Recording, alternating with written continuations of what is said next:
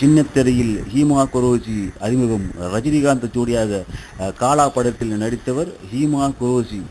படத்தில் ரஜினிகாந்தின் இளமை பருவ காதலியாக வந்தார். முப்பது அல்லது நாற்பது வருடங்களுக்கு பின் இருவரும் சந்தித்துக் கொள்வது போல் படத்தில் காட்சிகள் அமைக்கப்பட்டிருந்தது. ஹீமா குரோஷி தனது நடிப்பால் அனைத்து தரப்பு ரசிகர்களையும் கவர்ந்தார்.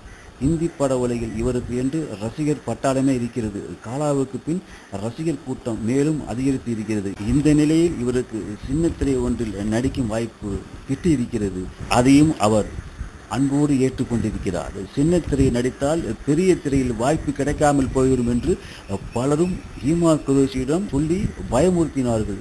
இதற்கெல்லாம் நான் கவலைப்பட மாட்டேன் என்று ஈமா குரேஷி சிரித்துக்கொண்டே பதிலளித்தார்.